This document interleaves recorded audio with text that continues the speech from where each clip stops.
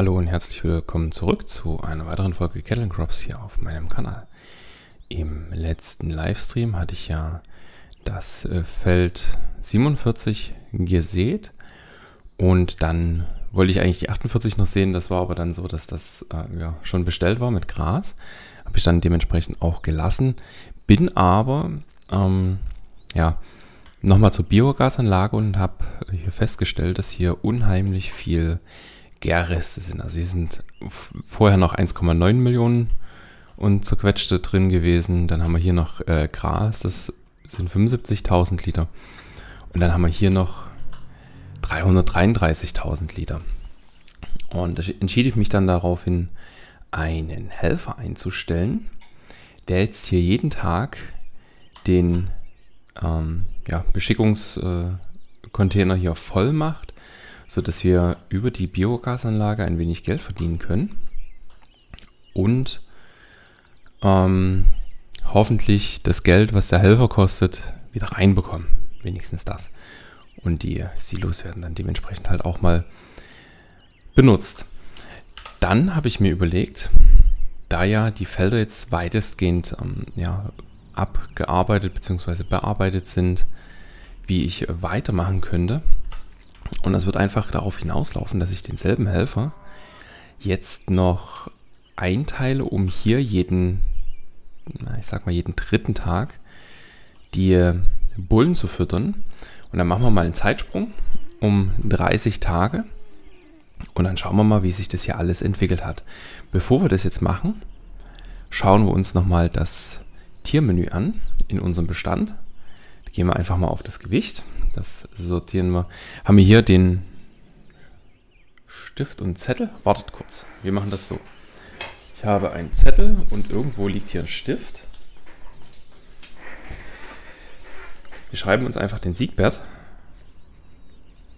mit 265 Kilogramm als leichtesten auf und den der Jürgen, das ist der, den ich jetzt schon ewig habe. Der wird einfach da, einfach da bleiben. Deswegen nehmen wir mal den Rico. Mit 483 äh, Kilo.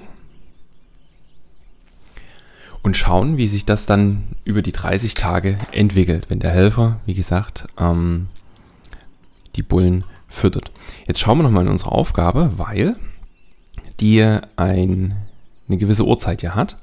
Die ist immer 15.10 Uhr, soll der die Biogasanlage befüllen. Jetzt soll aber derselbe Helfer die Fütterung noch übernehmen. Und da würde ich sagen, machen wir das einfach früh am Morgen. Und das kann der, ja gut, mit dem Arion erledigen.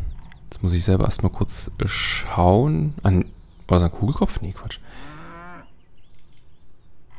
Oh, jetzt äh, sehe ich, dass ich gar keinen Futtermischwagen mehr habe. Was ist denn da los?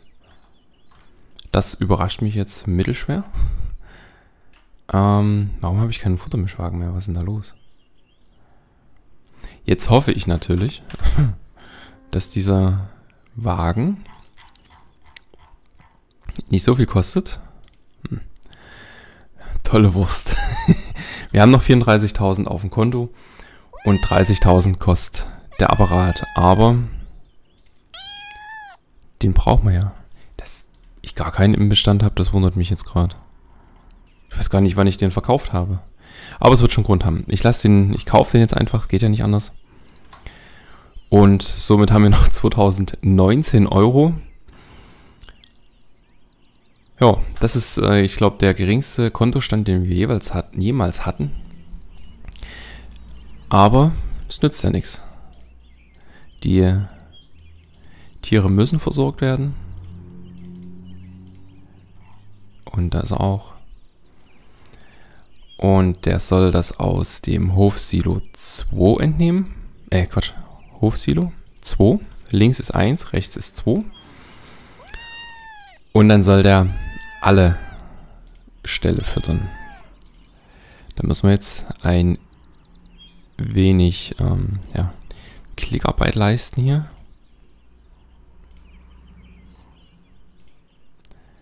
Hier wäre es auch toll, wenn man einfach die Möglichkeit hat oder hätte,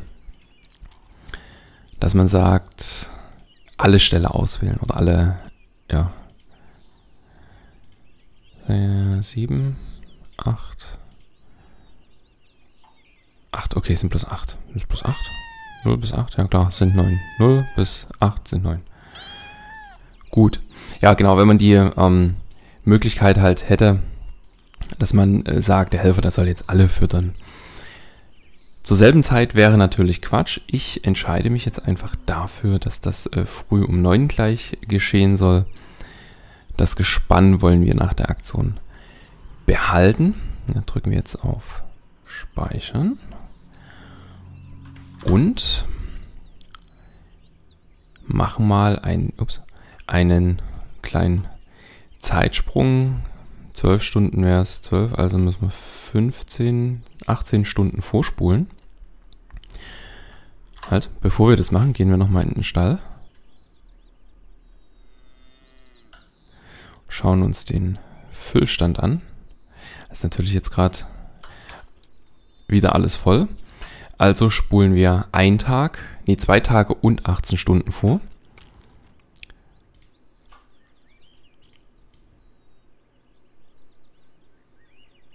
Und schauen mal, wie sich das Ganze hier entwickelt.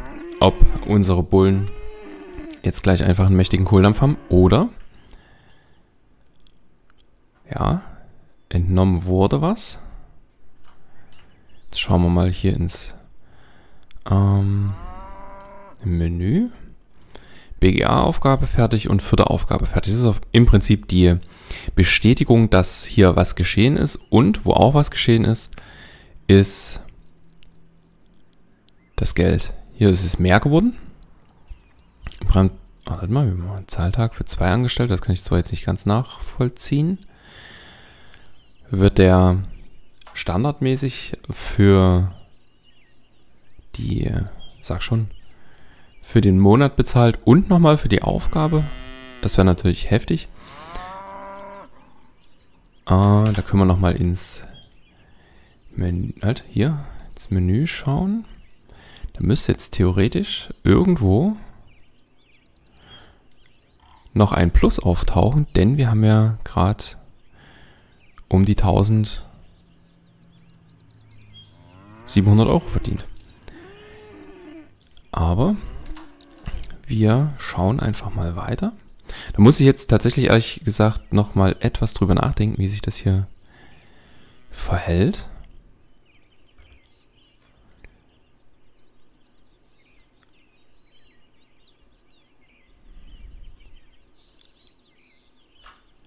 Wir haben hier noch 52.300 Liter drin. Da spulen wir einfach mal ähm, die 18 Stunden können wir rausnehmen.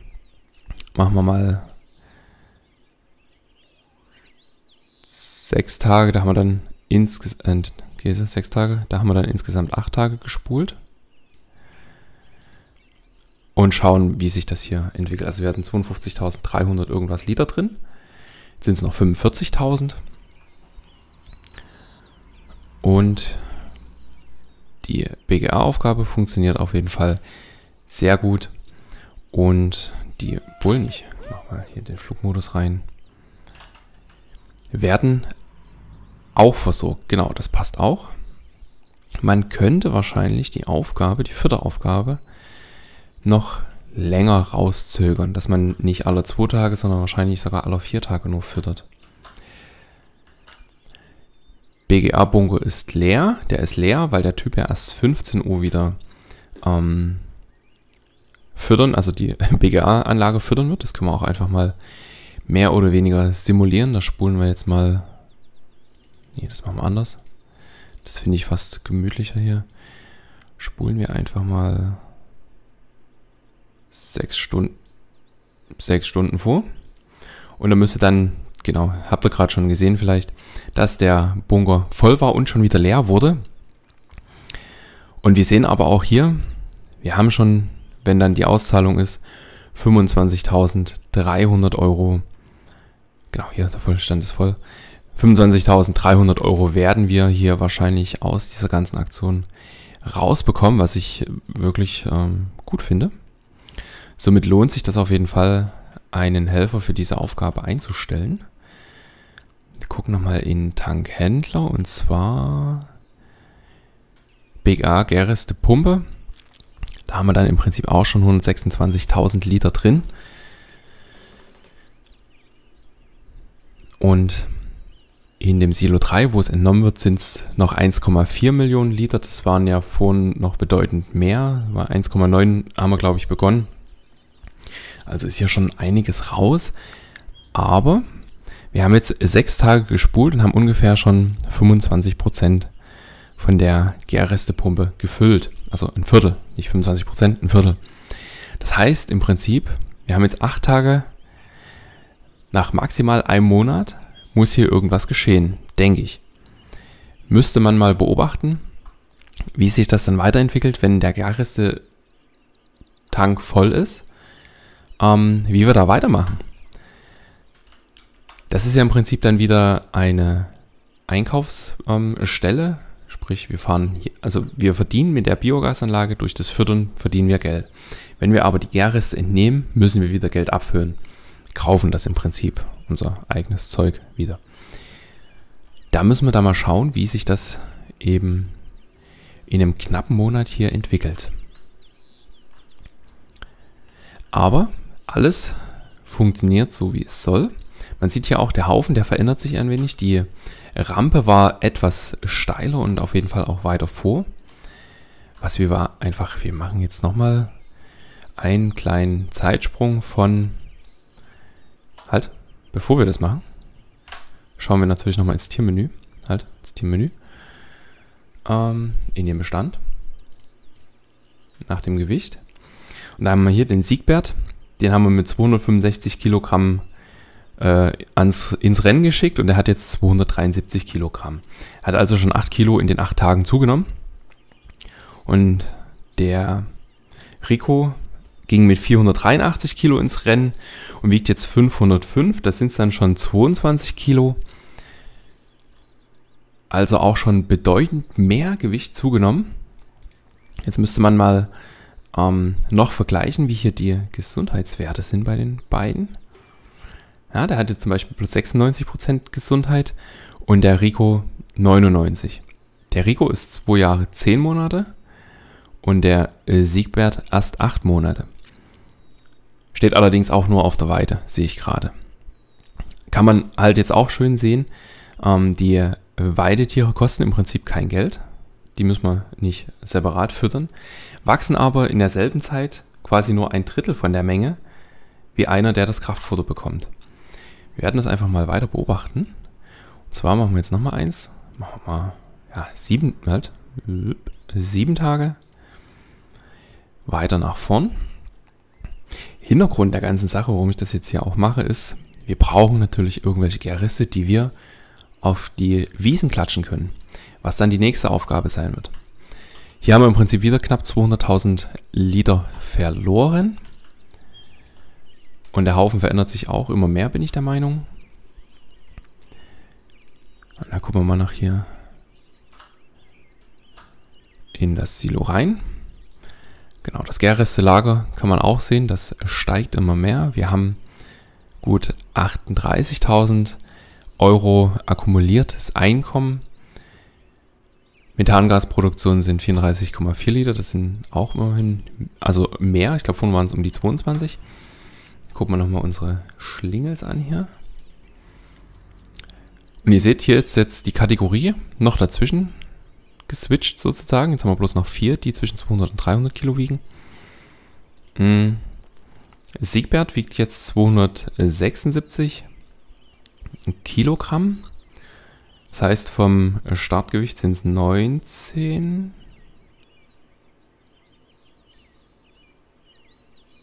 Ja, 19? 21 Kilo? Ein, nee, ja, 21 Kilo. Und der Rico wiegt jetzt mittlerweile 516 Kilo. Er hat also im Prinzip ähm, 33 Kilo zugenommen. Wenn ich mich jetzt nicht verrechnet habe. Das nähert sich also doch irgendwie. Die Biogasanlage schauen wir nochmal schnell rein. Das sind jetzt schon 30 Prozent. Also nach ähm, knapp zweieinhalb Wochen haben wir hier schon 30 Prozent des Füllstandes erreicht. Was wir jetzt noch machen, ist uns mal die Felder im Überblick anzusehen. Das sieht ja auf jeden Fall gut aus. Es ist das Feld 3. Und da ist Sommergerste drauf. Und die ist auf jeden Fall gut in den Werten. Also hier bei dem müssen wir nichts machen. Bei Feld 4 ist es auch okay. Haben wir ja alles mit Unterbodendüngung gemacht. Schauen wir uns unser Gerstefeld an vom letzten, äh, Weizen, genau, Weizen war es, vom letzten Livestream. Und hier sehen wir, das braucht auf jeden Fall etwas Zuwendung. Und genauso auch unsere Wiese, die daneben liegt. Und eigentlich wahrscheinlich alle anderen auch. Genau, hier, das sieht richtig ähm, schlecht aus. Da müssen wir auf jeden Fall mal ran, um eben für eine gewisse Grundversorgung ja, zu sorgen. Das ist im Prinzip eine, ja, so eine kleine Nebenaufgabe, die man auch erfüllen muss, die man im Auge behalten sollte, wenn man, wie ich jetzt hier, die Zeit voranspult, dass man ab und an mal zu seinen Feldern schaut und prüft, wie es denn geht. Denn wenn ich jetzt meinetwegen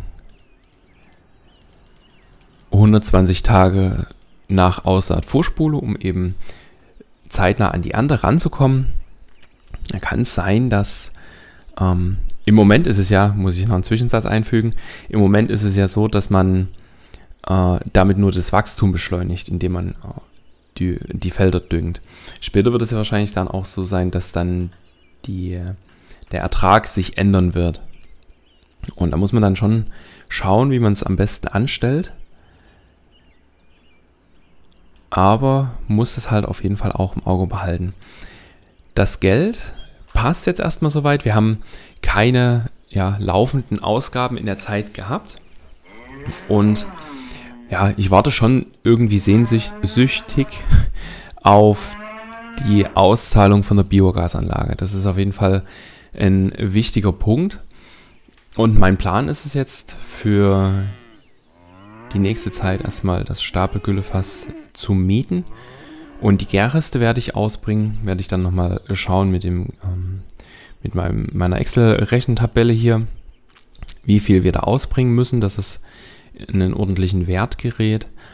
Und ich will auf jeden Fall so viel Geld akquirieren, dass ich mir dann wahrscheinlich doch das Stapel kaufen werde. Das Gras hier, das können wir nochmal ansehen. Das ist im BBCH 21 Wachstumsstufe. Das passt also auch ganz gut.